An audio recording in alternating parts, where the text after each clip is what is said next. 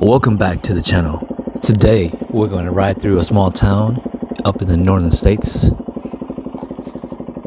And I did reset my ECU.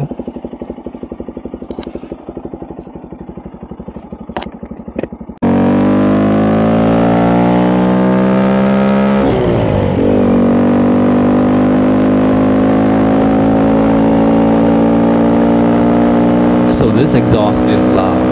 I don't know about you guys, but I do wear an earplug. And thanks for all the recommendation on how to get out of neutral. One thing that has worked consistently is to just let go of the clutch when you're in neutral and then pull it back in to get back into gear one.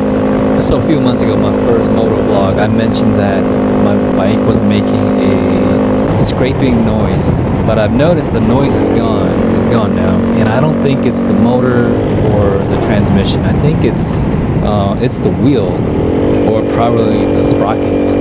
But yeah, that noise is gone now. I'm thinking about getting a new bike, something a little bit faster than this. These roads are bad. Yeah, so I'm looking at a couple different bikes, something a little bit faster, but I'm keeping the really enjoy riding the Grom around the small towns. So I'm looking at the Gixxer 600. It looks nice. It looks like it has a good power band and it looks like it has a lot of aftermarket parts where I can mod this bike.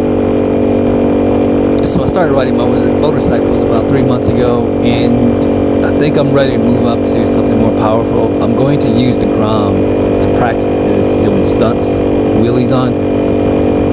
And the other two bikes I was looking at is the Kawasaki ZX636 or the ZX4RR.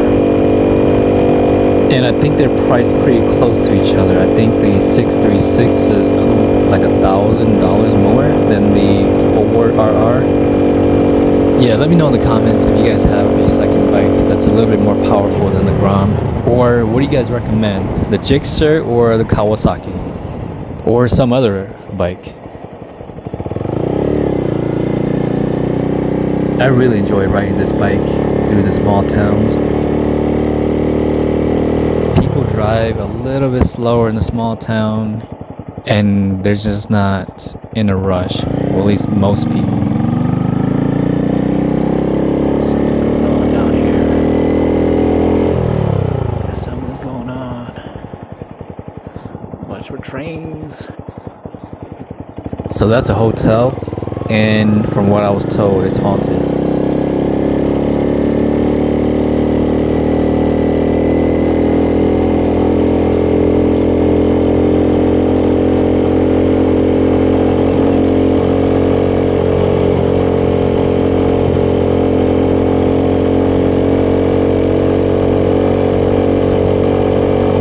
Ooh, what is that thing?